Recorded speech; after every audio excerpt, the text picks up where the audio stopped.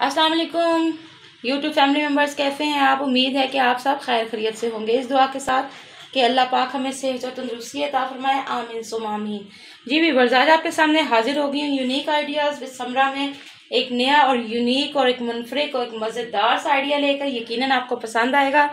तो इन ताला आपको पसंद आ रहा है। आपका बहुत बहुत शुक्रिया कमेंट्स का, आपके लाइक करने का, आपका शेयर करने का। तो आपको मैं इसीलिए यूनिक रेसिपीज़ दे रही हूँ, जो मुझे लगता है पहले आपने नहीं देखी होंगी।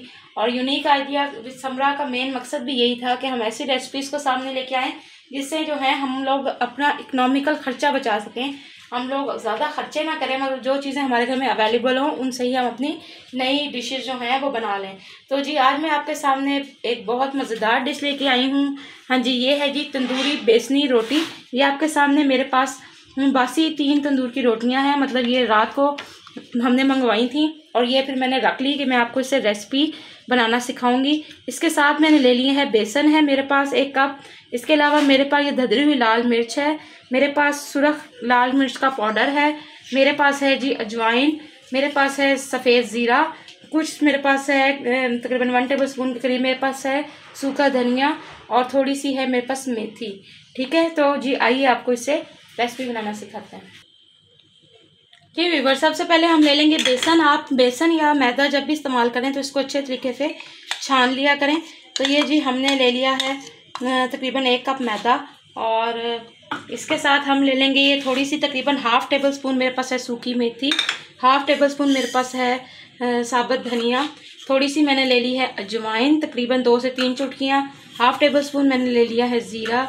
और ये मेरे पास है हाफ़ टेबल स्पून सुरख मिर्च और हाफ़ टेबल स्पून मैंने ले ली है धदरी हुई लाल मिर्च, ठीक है जी?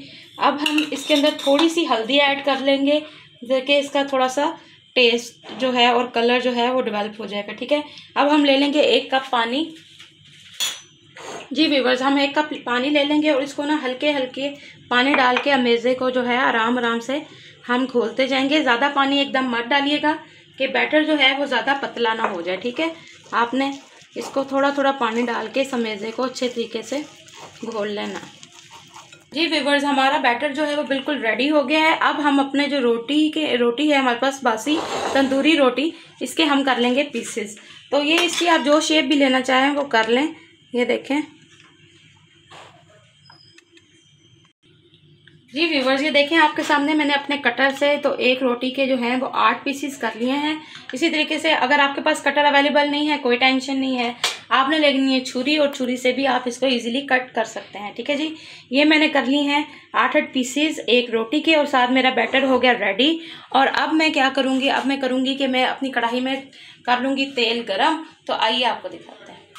ऊपर हो गया जी व्यूवर्स आपके सामने ये कढ़ाई में जी मैंने कर लिया है अपना तेल गरम।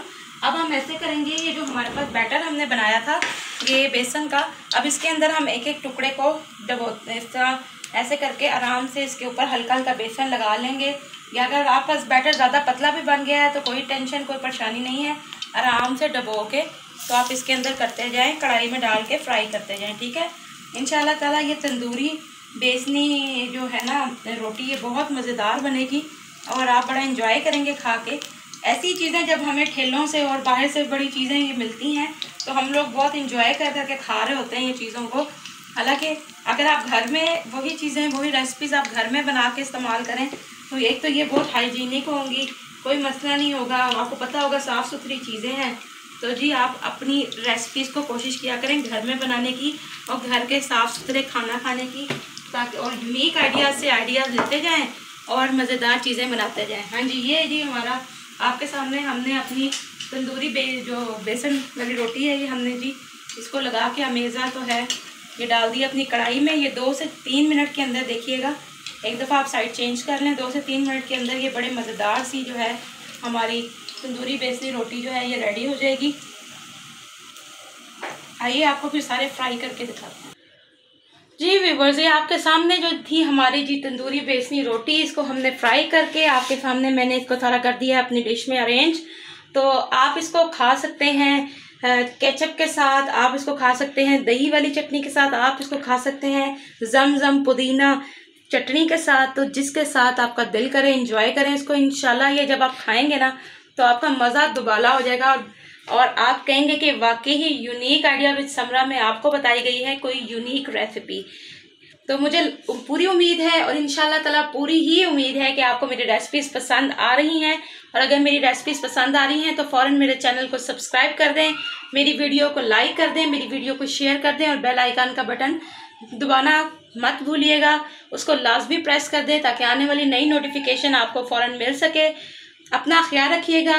अपने लिए भी दुआ करें और मुझे भी दुआ में याद रखिएगा। अल्लाह हाफिज़।